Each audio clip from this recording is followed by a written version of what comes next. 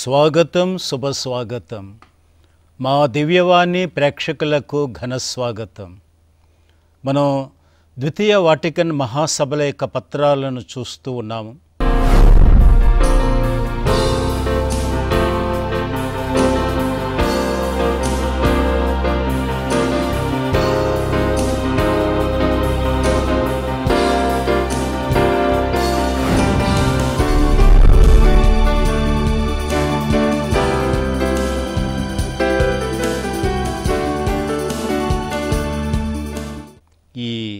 నవజీవన్ కార్యక్రమం ద్వారా ఇందులో మూడవ పత్రాన్ని నాలుగవ అధ్యాయంలో ఉన్నటువంటి ముప్పై మూడవ అంశాన్ని గత ఎపిసోడ్లో చూసి ఉన్నాము. అదే విషయాన్ని మనం కొనసాగించాల్సి ఉన్నది ఈ ఎపిసోడ్లో కూడా. అందుచేత మిమ్మల్ని అందరినీ కూడాను ఈ తొంభై ఏడవ ఎపిసోడ్కు ఆహ్వానిస్తూ ఉన్నాను. మరి ఈ కార్యక్రమానికి సిస్టర్ తబిత అలానే సిస్టర్ జోస్ఫిన్ వారు వచ్చి ఉన్నారు. వారికి కూడా నిండు స్వాగతం తెలియపరుస్తూ ఉన్నాను. ఈ కార్యక్రమం ద్వారా వారు వేసేటటువంటి ప్రశ్నల ద్వారా మనం ఇంకా లోతుగా విషయాల్లోకి వెళ్ళి వాటి యొక్క అర్థాన్ని క్షుణ్ణంగా తెలుసుకుంటూ ఉన్నాము. మరి గత ఎపిసోడ్లో మనం అనుకున్నట్లు విశ్వాసులందరూ ఒకే దేహం అన్నటువంటి విషయం మనం చాలా వరకు చర్చించి అందులో ఉన్నటువంటి గొప్ప అర్థాన్ని మనం తెలుసుకుని ఉన్నాము. ఇప్పుడు శ్రీసభలో జీవచేతన గల సభ్యులుగా ఉండాలని తల్లినటువంటి శ్రీసభ మొదటిగా కోరుకుంటూ ఉన్నది. అంటే జీవము గల అంటే హుషారుగా ఉండాలి. ఏదో మనం కథోలికలుగా ఉన్నాం ఆదివారం పుట్ట పూజకి వెళ్తూ ఉన్నాం ప్రార్థన చేసుకుంటూ ఉన్నాం. ఇది సరిపోతుంది అనుకుంటే చాలదు. తల్లినటువంటి శ్రీసభలో సభ్యులుగా ఉన్నటువంటి వాళ్ళు చురుకుగా ప్రతి ఒక్క కార్యక్రమంలో కూడాను పాల్గొని ఇప్పుడు ఉదాహరణకు క్రిస్మస్ సమయంలో ఏవో కొన్ని కొత్త ప్రోగ్రామ్స్ విచారణ గురువు అలానే సలహా సంఘ సభ్యులు కలిసి ఏర్పాటు చేస్తూ ఉంటారు. ఇంకా ఈస్టర్ పండుగ నాడు కూడాను ఆ మూడు రోజులు ముందుగా అనేక కార్యక్రమాలు ఉంటాయి. అవి ఎలా జరిపించాలి అన్నటువంటిది కూడా విచారణ గురు తెలియపరుస్తూ ఉంటారు. వాటిల్లో చాలా చురుగ్గా పాల్గొనాల్సి ఉన్నది ఏదో వెళ్తున్నాం ఆ కార్యక్రమంలో పాల్గొన్నాం వచ్చేసాం అన్నట్లుగా కాకుండా మీ వంతు ఆ కార్యక్రమంలో మీ వంతు శ్రమ కూడా ఉండాలి. అలా ఉన్నప్పుడే ఆ ప్రార్థనలో కానీ ఆ యొక్క కార్యక్రమంలో పాల్గొనటంలో కానీ చాలా చురుకుదనం వస్తుంది. మనస్సు కూడా వికసిస్తూ ఉంటుంది. అలా వికసించడంలో మీరు దైవానుభూతిని కూడా పొందుతూ ఉంటారు. అందుచేత తలైనటువంటి శ్రీసభ ఈ జీవ చేతనం గల సభ్యులుగా ఉండాలని కోరుకుంటూ ఉన్నారు. రెండవది శ్రీసభ నిర్మాణానికి తోడ్పడాలి. ఇక తల్లినటువంటి శ్రీసభ నిర్మాణానికి తోడ్పడడం అంటే మొట్టమొదట మీ కుటుంబంలో ఉన్నటువంటి సభ్యులందరినీ కూడాను చక్కనైనటువంటి సభ్యులుగా ముఖ్యంగా పిల్లలు ఉంటారు. ఈ పిల్లల్ని మంచి సభ్యులుగా తయారు చేయాల్సి ఉన్నది. అలానే ఇరుగు పొరుగు వారు అంటే ఇతరమైనటువంటి క్రైస్తవులు వాళ్ళు కూడాను చురుకుగా పాల్గొనేటట్లు ఎదురింటి వాళ్ళు ప్రక్కింటి వాళ్ళు కూడా కథోలికులు కావచ్చును. వారు కూడాను ఆ యొక్క సభ్యత్వంలో చురుకుగా పాల్గొనేటట్లుగా మీరు పనిచేస్తూ ఉండాలి. ఆ విధంగా మీరు తల్లినటువంటి శ్రీసభను అభివృద్ధి పరిచినట్లుగా దాని యొక్క నిర్మాణానికి మీరు తోడ్పడినట్లుగా అవుతారు. ఇకపోతే మూడవది నిరంతరంగా పవిత్రీకరణకు శక్తియుక్తులన్నింటినీ వినియోగించాలి అని తెలియపరుస్తూ ఉన్నది. అంటే పవిత్రీకరణ. ఎందుకంటే మన మానవులం మానవులైనందు చేత మనం చాలాసార్లు తప్పిదాలు చేస్తూ ఉంటాం తప్పులు చేస్తూ ఉంటాం పాపంలో కూడా పడిపోతూ ఉంటాం. మరి ఇటువంటివన్నీ కూడాను సరిదిద్దుకుంటూ ఉండాలి. మరి అలా సరిదిద్దుకోవడానికి తలైనటువంటి శ్రీసభ ద్వారా క్రీస్తు ప్రభు ఏర్పాటు చేసినటువంటి పాప సంగీతమైనటువంటి సంస్కారం. అలానే పూజలో పాల్గొనేటప్పుడు మొదట్లో మనకు ఈ శుద్ధీకరణ సాంగ్యం ఉంటుంది. ఆదివారం పూట అయితే తీర్థం చల్లటం ఇటువంటి విషయాలు కూడా ఉంటాయి. మరి పాప సంకీర్తన ప్రార్థన కూడా మనం చెప్పుకుంటూ ఉంటాం. అటువంటి సమయంలో ఈ పాపాలు తప్పిదాలు కూడాను తలంచుకొని అవి మనం అర్పిస్తూ ఇక పాప శుద్ధీకరణ అంటే పాపంలో లేకుండా మనం మనస్సు మన యొక్క వాక్కు అలానే మన యొక్క ఆత్మ ఇవన్నీ కూడాను శుభ్రంగా ఉండాలని మనం కోరుకోవాలి. ఆ కోరుకున్న విధంగా కూడాను మన ప్రయత్నం కూడాను మనం చేస్తూ ఉండాలన్నమాట. అలానే వారానికి ఒకసారి పాప సంగీతనం చేసుకోవడం లేకపోతే కనీసం ఓ పదిహేను రోజులు ఒక ముప్పై రోజులకు పాప సంగీతనం చేసుకుని ఆ విధంగా మనస్సును శుభ్రం చేసుకోవడం అన్నటువంటిది చాలా అవసరం అన్నమాట. ఈ విధంగా చేసుకోవటం వల్ల మనసు ఎప్పుడైతే శుభ్రంగా ఉన్నదో తలంపు కూడాను శుభ్రంగా ఉంటుంది. దాని మూలంగా తల్లినటువంటి శ్రీసభ యొక్క కార్యక్రమాల్లో చురుకుగా పాల్గొనగలుగుతారన్నమాట.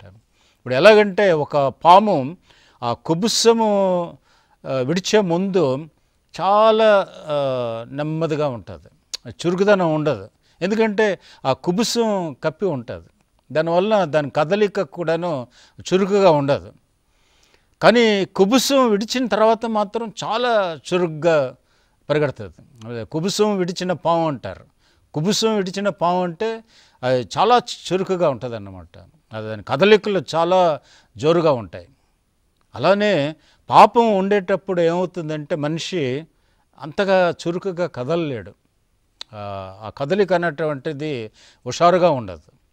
అదే పాపం లేకుండా మలినం లేకుండా ఎప్పటికప్పుడు శుద్ధీకరణ చేసుకున్నటువంటి వ్యక్తి అయితే చాలా చురుగ్గా ఉంటారన్నమాట.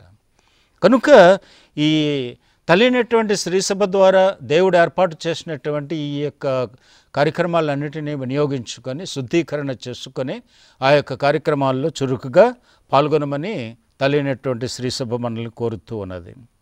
దేవుడు అప్పగించిన ప్రధాన ధర్మముగా భావించుకోవాలి. ఇదేంటంటే ఈ యొక్క కార్యక్రమాలు పనులు ఇటువంటివన్నీ కూడాను ఇప్పుడు గురువు గారు ఏదో చెప్తారు. అదొక పలానా పని చేసి చేయండి లేకపోతే చేసి పెట్టండి అని. అటువంటప్పుడు ఇది దేవుడి నుంచి వస్తున్నటువంటి ఆజ్ఞ ఇది దేవుడే మనకు స్వయంగా తెలియపరుస్తున్నారు అని మనం గ్రహించుకొని ఆ విధంగా ఆ పనిపాట్లలో చురుకుగా పాల్గొనడానికి మనం ప్రయత్నించాలి. అలానే క్రీస్తు నుండి తాము పొందే దివ్య వరాలను శక్తి సామర్థ్యములను శ్రీసభ వికాసానికి వినియోగించాలి అని తెలియపరుస్తోంది. అంటే భగవంతుడు మనకు కొన్ని వరాలను ఇస్తాడు. ఇప్పుడు ఒక్కొక్క వ్యక్తికి ప్రత్యేకమైనటువంటి వరాలు కూడా ఇస్తారు. అలా ప్రత్యేకమైనటువంటి వరాలు పొందినటువంటి వారు తమ కోసమే కాకుండా లేకపోతే తమ వాళ్ళ కోసమే కాకుండా మరి తల్లినటువంటి శ్రీ సభలో ఆ యొక్క విచారణలో ఉన్నటువంటి ప్రజలందరికీ కూడాను ఉపయోగపడేటట్లుగా వాళ్ళు వాళ్ళకున్నటువంటి ఆ కళ కానీ లేకపోతే ఆధ్యాత్మికమైనటువంటి ప్రత్యేకమైనటువంటి వరాలు. అంటే కొంతమంది బాగా బోధించగలరు మరి కొంతమంది చక్కగా పాడగలరు మరి మరి కొంతమంది పని పట్టులో చాలా చురుగ్గా పని చేయగలుగుతారు ఇలా రకరకాలైనటువంటి వరాలు ఉంటాయి కొంతమంది చక్కగా మాట్లాడి ఒప్పించగలుగుతారు. ఈ రకమైనటువంటి ఈ ఉపయోగకరమైనటువంటి ఈ సామర్థ్యాలని వారు ఉపయోగించి తల్లినటువంటి శ్రీ సభను చక్కగా కూడదీసి ఆ యొక్క కార్యక్రమాలన్నీ కూడాను జయప్రదంగా జరిగేటట్లుగా చూడాలని ఈ సభ మనకు తెలియపరుస్తుంది. అడుగు. ఫాదర్ సామాన్య క్రైస్తవులకు అపోస్తలిక ధర్మం ఉండదా? ఉంటుంది తప్పకుండా ఉంటుంది. ఇప్పుడు గురువులు వీళ్ళు ఉన్నారంటే వారు ప్రత్యేకంగా ఆ పని కోసం ఇరవై నాలుగు గంటలు కూడాను కేటాయించబడ్డారు. ఇప్పుడు సామాన్య క్రైస్తవులు అనేటప్పుడు ఆ, బప్తిస్మం ద్వారా వారు కూడాను ఈ క్రీస్తు ప్రభు యొక్క గురుత్వాన్ని అందుకున్నట్లే మనే మనం పేతురు గారు చెప్పిన విషయాలు కూడా మనం చూసి ఉంటాం. కనుక ప్రతి ఒక్క క్రైస్తవ బిడ్డకు కూడా ఆ ధర్మం అన్నటువంటిది ఉన్నది. అంటే ఈ శుభవార్తల్ని ఇతరులకి బోధించడం అన్నటువంటిది. ఇప్పుడు ఎవరైనా సరే ఒకవేళ చావు ఉన్నటువంటి పరిస్థితుల్లో ఉన్నారనుకోండి వాళ్ళకి జ్ఞానస్నానం లేదు. కానీ వాళ్ళు జ్ఞానస్నానం అడుగుతున్నారు. గురువు రావటానికి అవకాశం ఉండదు. అటువంటప్పుడు వాళ్ళు కూడాను జ్ఞానస్నానం ఇవ్వవచ్చును. ఇది తలైనటువంటి స్త్రీ సభ ఈ సామాన్యమైనటువంటి క్రైస్తవులకి ఆ రకమైనటువంటి విధానం ఆ యొక్క అధికారం కూడా ఇచ్చి ఉన్నది. అంచేత ఆ సమయాలను అయితే గురువు ఉన్నప్పుడు వాళ్ళు ఇవ్వరు. కానీ గురువు లేనటువంటి పరిస్థితుల్లో రాలేనటువంటి పరిస్థితుల్లో తప్పకుండా ఆ యొక్క విషయం అన్నటువంటిది ఆ సామాన్య క్రైస్తవులు చూడొచ్చు అనమాట ఈ విధంగా ఈ విషయాల గురించి మనకు పత్రం కూడాను చక్కగా తెలియపరుస్తుంది. అది ఒకసారి చదవండి.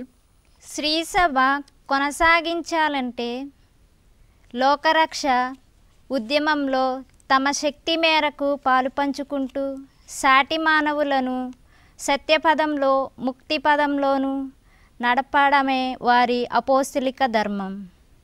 అపోస్తుల ద్వారా అపోస్తుల వారసుల ద్వారా వారికి అప్పగింపబడిన పవిత్ర బాధ్యత. నిజానికి బాప్తిస్మం పొందిన వారికి పవిత్రాత్మ ధృవీకరణ సంస్కారము ఆచరించిన విశ్వాసులందరికీ క్రీస్తు ప్రభువు సాధికారంగా అప్పగించే ప్రధాన బాధ్యత కూడా ఇదే. ఈ బాధ్యతను సక్రమంగా నిర్వర్తించాలంటే విశ్వాసులు దేవుని పట్ల సాటి మానవుల పట్ల ప్రగాఢమైన ప్రేమ కలిగి ఉండాలి. అందుచేత ఈ బప్తిసం పొందినటువంటి ప్రతి ఒక్క క్రైస్తవ బిడ్డ కూడాను ఆ సువార్తను ఇతరులకి ప్రకటించేటటువంటి అధికారాన్ని పొంది ఉన్నారు. ఇతరులకి ఆ శుభవర్తమానాన్ని తెలియపరచడం వివరించడం. ఇంకా చక్కగా ఇంటి దగ్గర అయితే కూర్చొని చక్కగా మాట్లాడుకుంటున్నట్లుగా ఏ విషయాలు మాట్లాడుకుంటూ ఉండవచ్చును. ఆ విధంగా తోడ్పడుతూ ఉంటారు. మరి ఇప్పుడు చిన్న బ్రేక్ తీసుకుందామా?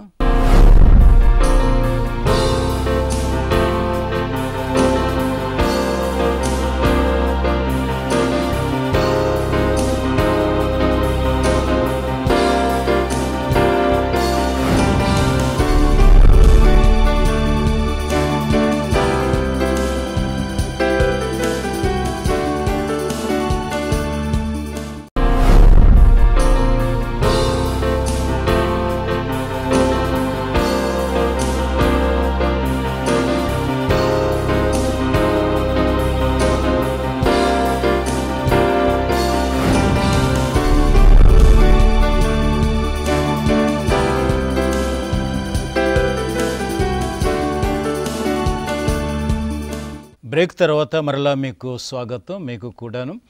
ఈ బ్రేక్కు ముందు మనం ఈ విశ్వాసులు అన్నటువంటి వాళ్ళు ఏ విధంగా ఈ శ్రీసభలో దేవుని యొక్క కృపను ఆయన యొక్క ప్రేమను అలానే క్రీస్తు ప్రభు యొక్క శుభవర్తమానాన్ని ఇతరులతో పాలు పంచుకోవడం అన్నటువంటిది మనం చూస్తూ ఉన్నాం. ఈ ప్రేమ అన్నటువంటిది దేవుని యొక్క వరం. కనుక ఈ దేవుని యొక్క వరాన్ని మనం పొందుపరుచుకొని ఆ ప్రేమ ద్వారా ఇతరులకు సేవ చేయటం అన్నటువంటిది అదొక ధర్మం మనకి. కనుక క్రీస్తు ప్రభు ఇచ్చినటువంటి ఈ ధర్మాన్ని కూడా విశ్వాసులు చక్కగా నెరవేర్చుకోవచ్చును. ఎందుకంటే వాళ్ళు ప్రజల మధ్య ఉంటారు ఇళ్ళ మధ్య ఉంటారు. కనుక అనేక మందికితో వారికి ఆ స్నేహ సంబంధాలు ఉంటాయి. అలానే వాళ్ళు వారికి అవసర సమయాల్లో సహాయం చేస్తూ ఉంటారు. అలా సహాయం చేయటం వలన వారు ఈ ధర్మ కార్యాన్ని నెరవేరుస్తున్నట్లే.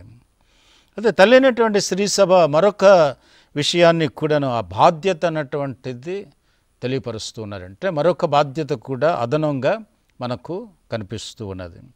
శ్రీసభ తన ఉనికిని చాటుకోలేని పరిస్థితులు ప్రాంతాలు ఉంటాయి. అంటే ఇప్పుడు శ్రీసభ చొరలేనటువంటి లేదా గురువు గారు వెళ్ళలేనటువంటి ప్రాంతాలు వెళ్ళలేనటువంటి పరిస్థితులు కొన్ని ఉంటాయి. అటువంటప్పుడు ఈ సామాన్య క్రైస్తవులు అనేటువంటి వాళ్ళు అటువంటి చోట్లకి వెళ్ళగలుగుతారు. వాళ్ళకి అవకాశం ఉంటుంది. కనుక గురువు ఎక్కడికైతే వెళ్ళలేరో ఎక్కడైతే ఆయన వెళ్ళకూడనటువంటి పరిస్థితులు కూడా ఉంటాయో అటువంటప్పుడు ఈ సామాన్య క్రైస్తవులు అనేటువంటి వాళ్ళు అక్కడికి వెళ్ళగలుగుతారు. వాళ్ళు ఆ గురువు నిర్వహించవలసినటువంటి పనులు కొన్ని నిర్వహించగలుగుతారు. ఉదాహరణకు అక్కడ జబ్బు మనిషి ఉన్నారు అటువంటి ప్రాంతంలోనే. వారిని సందర్శించడం వారికి ప్రార్థన చేయటం ఇటువంటివన్నీ కూడాను గురువు నిర్వర్తించవలసినటువంటి పనుల్ని ఈ సామాన్య క్రైస్తులు కూడా నిర్వహించగలడానికి అవకాశం ఉన్నది. అయితే ఇది గురువు గారితో సంప్రదించి ఆ విధంగా వాళ్ళు ముందుకు వెళ్తూ అటువంటి సందర్భాల్లో వారు గురువుకి ఎంతో చేదోడు వాదోడుగా ఉండడానికి అవకాశం ఉందన్నమాట. అచేత ఇది అదనంగా ఉండేటటువంటి ఒక పని. ఈ ఉనికిని చాటవలసినటువంటి బాధ్యత క్రైస్తవులదే. అంటే ఎక్కడైతే తల్లి అయినటువంటి శ్రీసభ వెళ్ళలేదో అక్కడ ఈ తల్లి శ్రీసభ యొక్క ఉనికిని అంటే తల్లి అయినటువంటి శ్రీసభ ఉంది తల్లి శ్రీసభ ఈ విధంగా గురువుల ద్వారా ఈ శుభవర్తమానాన్ని ప్రకటిస్తూ ఉన్నది క్రైస్తవ విశ్వాసాన్ని ప్రకటిస్తూ ఉన్నది అని తెలియపరిచేటటువంటి పరిస్థితిని కూడాను తీసుకురాగలిగేటటువంటి స్తోమత ఈ క్రైస్తవ బిడ్డలకే ఉందన్నమాట. అందుచేత వారు వెనకంచి వేయకుండాను ధైర్యంతో ఆ యొక్క పనిపాట్లను వారు చేస్తూ ముందుకు నడవాలి. ఆ విధంగా స్థలైనటువంటి శ్రీ సభను కూడా ముందుకు తీసుకువెళ్ళగలుగుతారు సామాన్యమైనటువంటి ఈ క్రైస్తవులు. అంచేత ప్రభు అన్నట్లుగాను మీరు క్రీస్తు చెప్పినట్లుగాను మీరు ఉప్పుగా ఉన్నారంట. ఈ లోకానికి ఉప్పుగా ఉన్నారు. ఉప్పు అన్నటువంటి ఆ ఉపధనం అన్నటువంటిది కూర అంతటికి కూడాను రుచి వేస్తుంది ఇది మా ఈ మాత్రం ఉప్పు మనం వేసినందువల్ల కలిపినందువల్ల ఆ కూర అంతా కూడాను రుచిగా ఏర్పడుతుంది.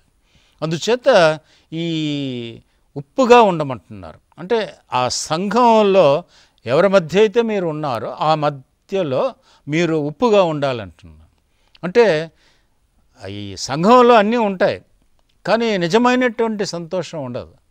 ఆ నిజమైనటువంటి సంతోషం ఉండనప్పుడు ఆ నిజమైనటువంటి సంతోషాన్ని ఎవరు తీసుకురావాలి? క్రైస్తవులే తీసుకురావాలి. ఆ నిజమైనటువంటి సంతోషాన్ని అక్కడ పుట్టించగలగాలి.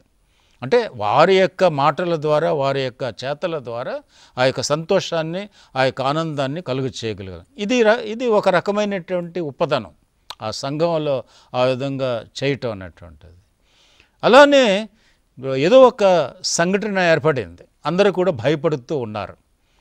మరి అటువంటప్పుడు క్రైస్తవులు అనేటువంటి వాళ్ళు ధైర్యంగా వెళ్ళి ఇదిగో మీరేం గాబరా పడకండి మీరేమి ఇదవకండి భగవంతుడు ఉన్నాడు భగవంతుడు మనల్ని కాపాడుతాడు ధైర్యంగా ఉండండి అని ఊరట చెప్పేటటువంటి పరిస్థితి కూడాను ఉండాలి. ఎందుకంటే ఇప్పుడు ఒక ఇంట్లో ఒక చావు ఏర్పడింది. అటువంటప్పుడు వాళ్ళంతా కూడాను కుటుంబ సభ్యులందరూ కూడాను దుఃఖంగా ఉంటారు. వాళ్ళ యొక్క బంధువులు స్నేహితులు కూడా దుఃఖంగా ఉంటారు. ఆ దుఃఖం ఒకటి రెండు రోజులైతే పర్వాలేదు. కొంతమందిలో కొంతమంది విషయంలోని ఏమవుతుందంటే ఆ దుఃఖం అన్నటువంటిది రోజు రోజుకి పెరుగుతూనే ఉంటుంది. మరి అటువంటి వాళ్ళకి ఊరట ఇవ్వటం అన్నటువంటిది. ఇంక అదే ఉపదనం అన్నమాట. ఆ ఊరట ఇవ్వటం ఎక్కడైతే ప్రేమ లేదో అక్కడ ప్రేమను పుట్టించడం ఎక్కడైతే శాంతి లేదో అక్కడ శాంతిని నెలకొల్పడం ఇవన్నీ కూడాను ఉపదనంతో మనం పోల్చుకోవచ్చు అనమాట ఆ విధంగా క్రీస్తు ప్రభు చెప్పినట్లుగా ఈ లోకానికి మీరు ఉప్పుగా ఉన్నారు అంటే ఇదే. ఈ విధంగా ఏదైతే లోపించి ఉన్నదో సంఘంలో ఆ లోపాన్ని మనం కప్పిపుచ్చటానికి ఆ లోపాన్ని తీసివేయటానికి మనం ప్రయత్నం చేస్తూ ఉండాలి. ఆ విధంగా భయభ్రాంతులు ఉండేటప్పుడు అక్కడ ధైర్యాన్ని స్థాపించాలి. ఎక్కడైతే ప్రేమ లేదో అక్కడ ప్రేమను స్థాపించటానికి ఎక్కడైతే శాంతి లేదో అక్కడ శాంతిని నెలకొల్పటానికి. ఆ విధంగా ఉన్నట్లయితే క్రైస్తవులు ఈ లోకానికి ఉప్పుగా ఉన్నట్లే లెక్క. అందుచేత ఆ విధంగా ఆదర్శ జీవితం స్పందన సాక్షులుగా దీపాలుగా ఉండాలని మనకు ప్రభు తెలియపరుస్తూ ఉన్నారు. అంటే ఈ పదకొండవ భక్తినాథ పాపు గారు ఈ విషయాలను మనకు తెలియపరిచి ఉన్నారు. అంటే క్వాద్రోదశిమ అన్నో అన్నటువంటి ఆ యొక్క విశ్వలేఖలో ఆయన ఈ విషయాలను తెలియపరిచి ఉన్నారు. ఏంటిది? జీవితంలో ఆ స్పందన అన్నటువంటిది. ఏదో జరుగుతూ ఉన్నది క్రైస్తవుడు అలాగ కళ్ళప్పగించి చూస్తూ ఉండడం కాదు. నేనేమైనా చేయగలనా? నేను ఈ- ఈ పరిస్థితిని ఏమైనా మార్చగలనా? అని ప్రశ్నించుకోవాలి. అది స్పందన. చేయడానికి ప్రయత్నం చేయాలి. అలానే సాక్షులుగా ఉండాలి. ఎవరికి? క్రీస్తు ప్రభువుకి సాక్షులుగా ఉండాలి. ఆ క్రైస్తవ విశ్వాసానికి సాక్షులుగా ఉండాలి. కొంచెం అలానే దీపాలుగా ఉండాలి. ప్రభు కూడా అన్నారు మీరు లోకానికి వెలుగు అని అందుచేత ఎక్కడైతే చీకటి ఉన్నదో ఎక్కడైతే భయంకరమైనటువంటి పరిస్థితులు ఉన్నాయో అక్కడ చీకటి ఉంటుంది. అటువంటి పరిస్థితుల్లో క్రైస్తవ బిడ్డ ఒక క్రొవ్వొత్తులాగా వెలగాలి. అలా వెలుగునప్పుడు వాళ్ళకి ఆ వెలుగును ఇచ్చినట్లు అవుతుందన్నమాట. ఈ విషయాలనే ఈ పాపు గారు ఆ యొక్క విశ్వలేఖలో పొందుపరిచారు. అలానే పౌలుడు కూడా మనకు చాలా చక్కనైనటువంటి విషయం తెలియపరుస్తూ ఉన్నారు. ఎఫ్ఎస్సీలకు రాసినటువంటి లేఖ నాలుగవ అధ్యాయము ఏడవ వాక్యాన్ని ఒక్కసారి చదవండి. క్రీస్తు వసికిన కృపకు సమాన పరిమాణములో మనలో ప్రతి వ్యక్తియు ఒక్కొక్క విశేష వరమును పొందెను. ఆ విధంగా అపోస్తలిక ధర్మాన్ని నెరవేరుస్తూనే ఉన్నారని. ఈ విధంగా ఎప్పుడైతే అలా చొచ్చుకొని పోయి ప్రతి ఒక్క విషయంలో కూడాను జాగ్రత్త పడి వాటిని మనం ఏమైనా మార్చగలమా చేయగలమా మంచిని తీసుకురాగలమా అనేటువంటి ఆలోచనతోటి ముందుకు సాగుతూ ఉండాలి. అలాగా నిర్వర్తిస్తూ ఉంటే స్థానిక స్త్రీ సభ అన్నటువంటిది నాయకులు బిషప్ గారు కానీ లేకపోతే విచారణ గురువు కానీ వాళ్ళకి తోడ్పడినట్లు అవుతూ ఉన్నది అనమాట ఆ విధంగా అందరూ కలిసి ఆ యొక్క అపోస్తలిక ధర్మాన్ని నెరవేర్చాల్సింది. బిషప్ గారు బిషప్ గారి యొక్క హోదాలో ఆయన నెరవేరుస్తారు. విచారణ గురు ఆయన యొక్క హోదాలో ఆయన నెరవేరుస్తూ ఉంటారు. అలానే ప్రజలు కూడా వాళ్ళు ఎంత చేయగలుగుతారో ఎంతవరకు వాళ్ళు చేయాలో అంతవరకు చేస్తూ వాళ్ళు కూడాను ఆ విధంగా ఆ ధర్మాన్ని నెరవేరుస్తూ ఉన్నారన్నమాట. అంచేత ఎవరి స్థానంలో వాళ్ళు ఉంటూ అందరూ కలిసి ఆ యొక్క అపస్తోలిక ధర్మాన్ని నెరవేరుస్తూ ఉంటారన్నమాట. అందుచేత ఈ విధంగా సహకరించాలని పన్నెండవ భక్తినాథ పాపు గారు కూడా మనకు తెలియపరిచారు. ఆయన ప్రసంగంలో ఈ విషయాలన్నిటిని కూడాను ఉద్ఘాటించారు. ఆ విధంగా ఈ పాపుగారులు చెప్పినటువంటి అప్పుడప్పుడు ప్రసంగాల్లో కానీ లేకపోతే విశ్వలేఖల్లో కానీ వాళ్ళు అనేక విషయాలను తెలియపరుస్తూ ఉంటారు. అవి కూడా మనం పట్టించుకొని ఆ విధంగా హుషారుగా ఈ యొక్క క్రైస్తవ జీవితాన్ని జీవిస్తూ ఇతరులకు ఆ జీవితాన్ని అందించాలి. మనకు ఈ పౌలుడు ఫిలిపీలకు రాసినటువంటి లేఖలో కూడాను నాలుగవ అధ్యాయము మూడవ వాక్యంలో కొన్ని విషయాలు తెలియపరుస్తున్నారు. ఒకసారి చదవండి వింటారు. విశ్వాస పాత్రుడవు నా సహకారివి అగు నిన్ను నిన్ను కూడా అర్థించుచున్నాను. నీవు ఈ స్త్రీలకు సహాయపడవలెనని నా కోరిక. ఏలైనా సువార్త ప్రచారమును వారు నాతోనూ క్లెమెట్తోనూ అదితరులకు నా సహ ప్రచారకులతోనూ కలిసి కష్టపడి పనిచేసి వారి నామములు దేవుని జీవ గ్రంథమునందు చేర్చబడినవి. ఆ విధంగా తన శిష్యుల ద్వారా ఆ యొక్క కార్యక్రమాలు చక్కగా చేయమని పౌలుడు ఎంత చక్కగా కోరుతూ ఉన్నారు. అలానే తల్లినటువంటి శ్రీసభ గురువుల ద్వారా అనేక మంది క్రైస్తవ బిడ్డల్ని కోరుతూ ఉంటుందన్నమాట. సమర్థులైన వారిని శ్రీసభ పాలనా పదవులలో నియమించే అవకాశం ఉంది. అందుచేత ఈ సమర్థులైనటువంటి వారిని అంటే ఎవరికైతే ఆ యొక్క స్తోమత ఉంటుందో అటువంటి వాళ్ళని ఈ శ్రీసభ పదవుల్లో కూడాను నియమించడానికి అవకాశం ఉందని పత్రం మనకు తెలియపరుస్తుంది. ఫాదర్ శ్రీ సభలో ఎటువంటి పదవులు ఇవ్వగలరు? స్త్రీ సభలో కొన్ని పదవులు ఉన్నాయి అవి చాలా చోట్ల ఫాదర్లే చేస్తూ ఉన్నారు.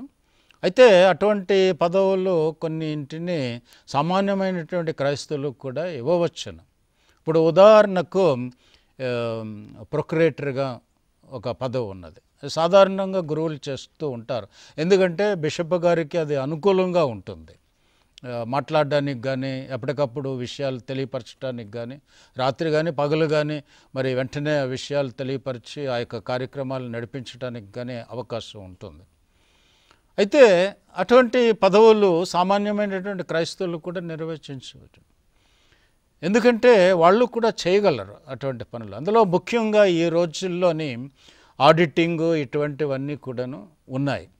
ఇటువంటి విషయాలు ఎక్కువగాను అనుభవం ఉన్నటువంటి క్రైస్తవులు కొంతమంది ఉంటారు.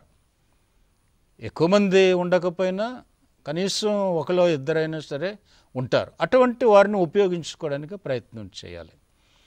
కనుక ఇప్పుడు కొన్ని చోట్ల కొన్ని మెత్రాసనాల్లో సామాన్యమైనటువంటి క్రైస్తవులు కూడాను ఇటువంటి పదవులు చేపట్టి వాళ్ళు కూడాను ఎంతో సహకారులుగా మనకు కనిపిస్తూ ఉన్నారు.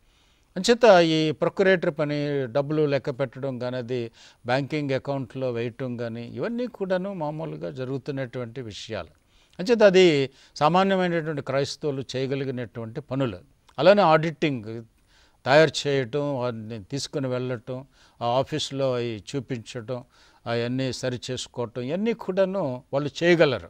అందుచేత చెప్పాలంటే ఒక్కొక్కసారి గురువుల కన్నా వాళ్ళు చక్కగా చేయగలిగినటువంటి పరిస్థితి వాళ్ళు వెళ్ళి మాట్లాడగలిగేటటువంటి పరిస్థితులు కూడా చక్కగా చేయగలుగుతారు.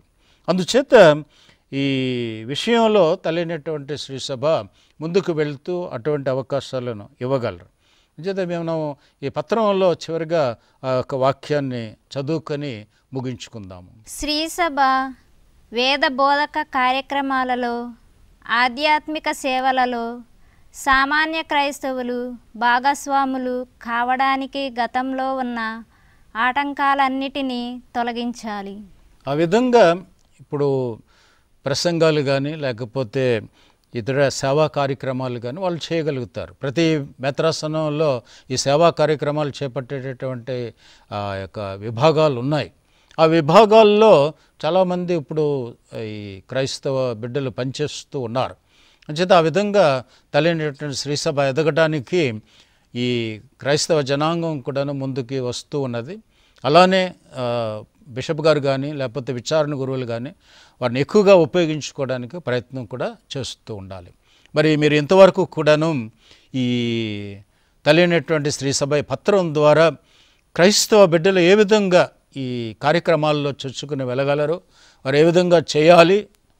ఏ విధంగా వాళ్ళు ముందుకు రావాలి అన్నటువంటి విషయాల గురించి మనం తెలుసుకుని ఉన్నాం. మీరు కూడాను ఆ విధంగా శ్రద్ధ కలిగి తెలియనటువంటి శ్రీ సభకు తోడ్పడండి. భగవంతుడు మిమ్మల్ని ఆశీర్వదిస్తాడు. మరి ఇంతవరకు కూడాను ఈ ప్రోగ్రాంలో పాల్గొని మీరు అనేక విషయాలు నేర్చుకున్నారు. మీకు వందనాలు. అలానే ఈ కార్యక్రమానికి వచ్చినటువంటి ముఖ్య అతిథులకు కూడాను నేను నిండు వందనాలు తెలియపరుస్తూ ఉన్నాను. మరి వచ్చే ఎపిసోడ్ వరకు కూడాను మీరు వేచి ఉండండి. దివ్యవాణి కార్యక్రమాలు చూస్తూ ఉండండి. మీ విశ్వాసాన్ని బలపరచుకోండి. May God bless you